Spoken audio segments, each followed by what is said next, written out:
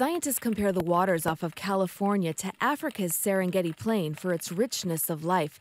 Most of the Pacific Ocean's top predators thrive there, including great white sharks. But San Diego's offshore dorsal finned residents are mostly harmless pups. We don't actually see too many large white sharks off of Southern California. Uh, they occasionally come through, but we don't have any resident fish we think in the area. Shark researcher Nick Wagner with Scripps Institution of Oceanography says San Diego waters provide a nursery ground for the five foot long great white newborns, but their parents tend to stay away. There's no parental care for white sharks. And so once the, the mom shark drops off the pups, she leaves and the pups are there to fend for themselves. And so the pups seem to end up off our coast in Southern California and they're probably attracted to high abundances of fish, generally calm waters, and the area where they can best feel like they can survive. Wagner says the question that remains is exactly where females go to give birth. So we've never actually seen a white shark give birth, um, but because we have high numbers of, of juveniles um, in Southern California, we suspect that uh, they give birth somewhere uh, in Southern California or, or in adjacent waters. San Diego lifeguard Lieutenant Greg Buchanan says mom does swim in close to shore on occasion to show off her large dorsal fin. Most recently on July 2nd, when a lifeguard and eight witnesses spotted what they believed to be a 12 to 15 foot great white lurking off La Jolla shores. Swimmers were called out of the water and the beach was closed. The water was super clear that day, so we got a helicopter up within a few minutes.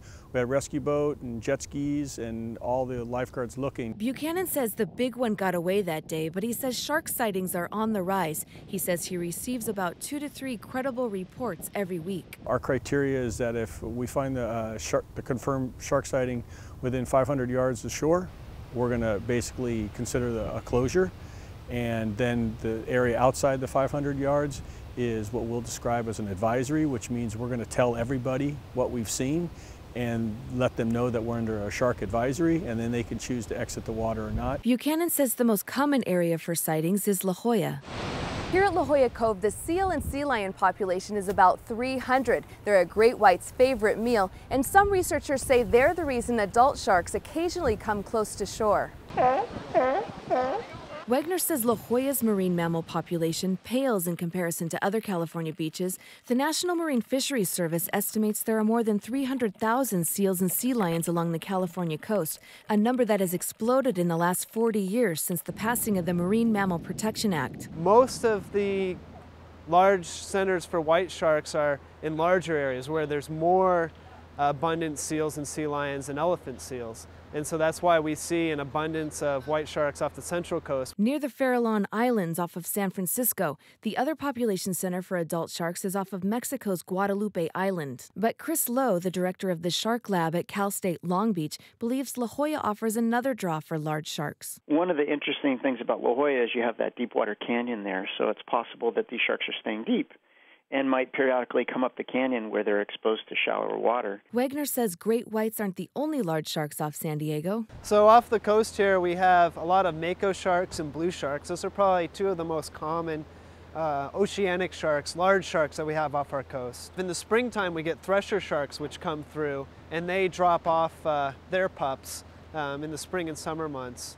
And they, um, and they can get quite large as well. Wagner says San Diego sharks are mostly harmless to swimmers. We've only had a couple fatal shark attacks in the last hundred years in San Diego County, so shark attacks are very rare in, in, in San Diego, and we always get, you know, there's always a lot of excitement generated when, when a white shark is spotted, but there's very very few incidents with them attacking people. The Pacific Coast had 108 great white shark attacks recorded in the 20th century. Between 2000 and 2010, there were 54 attacks. Most victims survived. The latest fatality happened in 2008 off Solana Beach in North San Diego County. I would always tell people that sharks exist in the ocean, and so they need to know that.